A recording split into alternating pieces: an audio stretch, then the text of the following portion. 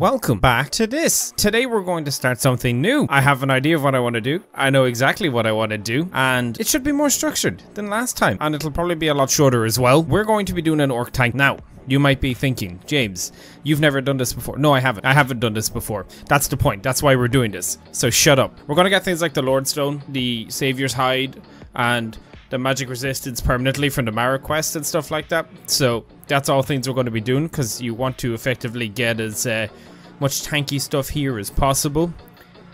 And I have a list of all the stuff I want here. Yeah, so what we want to focus on getting is the uh, Agent of Mara, uh, which is 50% resist magic. We want the Lord Stone. We want the Savior's Hide magic resistance and the poison resistance too. The Alchemy Snake Blood perk, which will give us another 50%, will mean that we'll have 100% resistance. So we won't have to play an Argonian or something like that. You know that kind of thing, bro? Um, I think as well the Shield of Ysgramor, because of the 20% resist magic thing and Fortify health. Um, the Bretons naturally have, I think it's something like 20% passive resistance or something like that, 25%. But uh, I want to play an Orc because uh, Hulk go smash. So, so that's the idea. I am going to be using the alternate start mod, and there's some other small ones in here that's kind of um, not going to get in the way, but it's just kind of here, you know? So, this one, I kind of have the idea of what we're going to go through way more. I don't know how long it's going to be. Hopefully, it's not too long. I definitely say it'll probably be between 10 and 20 episodes. Uh, I'm not doing any quest lines to the end per se. It's more getting this base build done, knowing that I have it, and then be like, okay, at the end, I'll be like, all right, once we have all the main stuff gotten, um, here's the remaining things that we could do to add on to it. But once the main stuff's done, essentially, I think I'm done. I might just finish the game, just with the build in at that point to say we've done the game with the build. We're just going to use a default boy because default boys are the best. Grobro Nabagirl. Man, this is actually a genius name. Straight up. Look at this thing. Look at this. This is the greatest name in mankind, man. Alright, we want to make sure it's on uh, Legendary. See? Legendary. Got that max mouse sensitivity up, boys, you know. All the usual settings and all that crap. There's no point in me having audio on because uh, you won't hear it anyway. There's no point. So, because music makes everything better. I'm always going to do the camping in the woods because camping in the woods I think is the best. We could help ourselves here and start somewhere where we get something closer, but I don't see the point. I feel like I don't want to do the vanilla start, but camping in the woods seems closest to Helgen without having to do Helgen.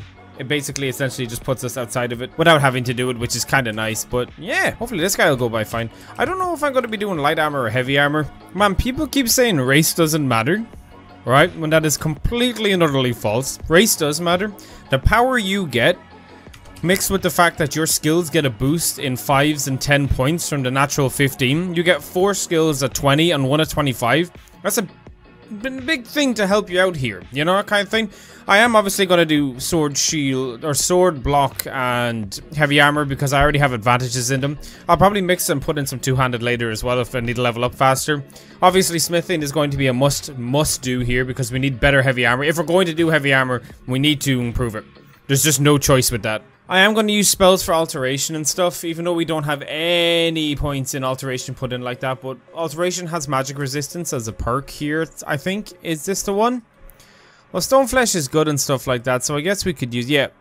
Absorb 30% of the magicka uh, of any spell that hits you, so we need to get to 100 alteration to get that up. I can't really tell if I'm going to bother using bugs to help me speed up my progress or not yet, but we will decide on that as we go along. No, here it is. Magic resistance. This is this one. We're probably only going to need around 70 or 90. Knowing the way these first tier 3 perks work and the fact that there's 3 of them, it's probably going to be 90. Uh, 30, 60, and then 90. That's how it'll go by. But yeah, I mean, that's it's kind of not too difficult what's going to be. We're probably going to have to utilize like our bonuses, food, stuff like that. I mean, I don't really know. But this should be fun, man. This should be fun. I am going to get the, since it's alternate start, I'm going to get the 5% well rested bonus here, because I think it's 8 hours it lasts for, something like that. Uh, we can check here. Yeah, we get 5% for 8 hours, so we're just going to get to Helgen and get to Journal. Just to have the Helgen part out of the way with, because I do want to get into Whiterun. And I do want dragons soon enough, um, this, again, obviously is the first episode, so it's kind of the planning on what we're going to do and stuff like that. But I know what I'm going to do this time. I have all the things I need. When it comes to the exact skills, I know what I'm going to be doing. Uh, it's a big boy orc, so I mean, it's pretty obvious what we're going to be doing with the big boy orc. I'm not going to be using archery or stealth. It's just not going to happen this time. I want you all to know that. I'm not changing my mind later and changing to it. I'm not doing it. If I run into a wall, because again, because I finished that one there, and I can say I finished it, you know, you learn a lot doing them. Alright, so we've read the journal. So now all we got to do is head on to uh, Riverwood and go to the Standing Stones. I want to get the Lord Stone soon enough-ish, but we're going to have to go up the... go to the Vigilant of Stendarr home place, and then we're going to have to climb up the mountain from there. Since they're early game bandits, it won't be too bad, but, you know, the sooner we get it, the better. For now, I'll take the Warrior Stone because we can get our warrior skills up a little bit faster, and again, there's no reason for us not to have progress until we, um, you know, get to the Lord Stone. We have all the time in the world, you know, it's not like we're getting to level 81 or anything like that, so I don't know if I'd call this a challenge or anything. It's more a restriction. It's definitely a specific build type we're doing, obviously. And I haven't made a story for this character because, I mean, grow nab, grow bur, grow bro nabba girl. You know, ma'am? Wait, let's get the stone before we start fighting this guy. Also, all I have is a bow and, yeah, I don't want to use the bow. I'm just not using archery. My guy does not know how to use a bow, so he will not take up a bow. He's more liable to cut his finger off pulling the string. See, we're kind of, we should probably just make a sprint for um, Riverwood at this point. We'll get our combat skills 20% faster. Because I have nothing to fight with, and I'm not going to beat him with my fists. That's not gonna happen. There's no point in trying that. I think there's a woodcutter's axe here though. Technically we could try and use this. And the thing with the powers I was saying earlier, by the way, is, right, you can just wait 24 hours and reset your power. It's 24 seconds. It's not a big deal. And, you know, boom, you have it back. Again, I could, I could mess something up again, you know, that kind of thing. There's always the chance, but alteration i mean i'm going to use restoration i'm just not going to not do that because i mean let's be honest shut up I'm using restoration. There's not much more to it than that. And uh, the stone flesh spells obviously are going to help mega, mega, mega, mega, mega, mega help. So I have them to equip. Uh, let me get my woodcutter's axe. The first person I kill is a man with an axe, man. Imagine that. Six goddamn health. Right, let's see how we do here. Jesus Christ, man. I guess we'll just use Berserker's Rage here now because why not? He's still doing damage to us. He could still kill us here very easily. No, he actually won't, man. Even with the woodcutter's axe, you can actually see the damage coming out here because of the power. But see, now what you want to do is, let's say you wait an hour. All right, the spell's gone. Now we're going to take all this stuff. All right. Now let's say you wait. Obviously, this is a bit tedious, but let's say we'll wait 23 hours. All right. Yes, you used it, but this is why the race is important. You have this power which can absolutely change any combat instance you come across. And that's the main thing that you get from this. Being able to just change the situation is pretty goddamn dope. Now, we did get a steel war axe. So, this is 10 and that's 6, so we don't need to use that anymore. But as you can see, we have Berserker's Rage back up. Yes, we wasted 24 seconds, but it's 24 seconds that I will get a level or two out of coming down here, but it obviously would be better if we had a shield. But I'm going to be doing a lot of spamming my power at the beginning because why wouldn't I abuse the power I have, you know, that kind of thing. So we're to make a save here just before Embershard Mine going into it. I would like to do a character with all the knowledge I have that efficient, efficiently... Yeah, see. So what we want to do is favorite the axe here again. And we're going to take out um, our Berserker Rage again. Kill this guy first. Yeah, so this is... this. It's kind of mad how Berserker Rage kind of just changes the values so it feels like you're on a depth. Without Berserker's Rage, man, you do half the damage, obviously, because that's that's his power. it's double damage, but still. Gonna take their weapons for now. I feel like a mace would be more suited. Yeah, the mace does 22 damage as well. It's not 22. It's doubled because of, um, that's not too bad. So we'll pick up any little gold bags we come across and stuff like that as well. I'm not going to be putting any points into speech or lockpicking or pickpocketing or anything like that because our big grubby green hands will not do such a mean thing. Uh, again, I'm going to do the same thing I did before, just in case, because again, once there's multiple enemies, you know, going to have to do this until we get better armor. It's just going to be the way it is. I think what we'll work on doing is getting a better shield as soon as possible, and start grinding out smithing and stuff like that, I do want to know, for the things like grinding smithing, should I do that outside of the episodes or should we do them during the episodes? That's more kind of what I want to wonder. Are you guys preferring not seeing the grind or would you prefer to see the grind? Oh, wait, they were behind me because, oh, right, that's why. Yeah, yeah, yeah, that makes sense. Man, seriously, Berserker's Rage is just so goddamn powerful. Look at this, like. Let me go to the other bandit over here quickly. So I don't have to like restart and fight him separately and struggle. Yeah, here he is. Let's just beat this guy down quickly with the mace. Man, the mace the mace should make a crushing skull kind of thing. there's one more guy over here. He's only one hit away from dying, so it doesn't matter.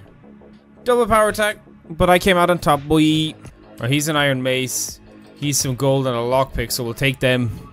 Not gonna learn any new spells either just going to take them. Well, I am to learn new spells, but not the ones I don't need. I'll just sell them. I'll take this because I can't be arsed uh, lockpicking right now. Oh, we got sparks from that. Not too bad. We'll have to get some vegetable soup and stuff like that. It's not hard to make, man. It's like potatoes, leeks. It's just a few vegetables. I think it's tomatoes. I can't really remember. But I'm going to go make a bulk amount of them in, uh, when I go back to... When I go to Whiterun after this. I just want to go through Riverwood into Whiterun. That's kind of my objective here. Alright, so we're going to do the same thing as before. We're going to wait 24 hours. This is the last time I'm going to have to do it anyway, because there's only a few of these guys here. There's no heavy armor in any guys here. Usually I get my first set of heavy armor by either crafting it at one of these shops, stealing the stuff from Alvor in Riverwood, or um, going to the tower just outside of, oh, what's it called? Outside of Bleak Falls Barrow. Because there's always a bandit that has it there. Let's just kill this bandit before I use my power. Oh man, and we have a level up so we can just get more health out of it. What we'll do here is I'll put a point into health obviously. Because that's what we want to do. Although I should early game be putting stuff into Magicka. And we will put a point... Oh, I won't bother with heavy armor yet. We'll just do one-handed. Focus on damage. 20% more damage from that. We'll take the Iron Greatsword because it's a double one. Not that we're going to use it yet, but still.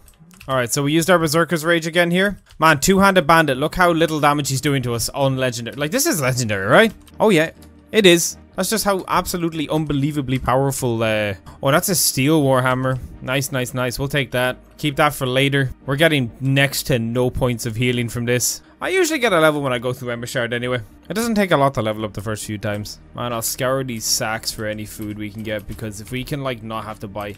I know I'm going to have to buy a vegetable. I know one will be missing. There's always one. Oh, we got an iron helmet from that. It's kind of cool because once you wear, oh, we have we got two rings from the sack. We got a ring of minor striking, and we got a ring of minor stamina. I'll take the ring of minor stamina.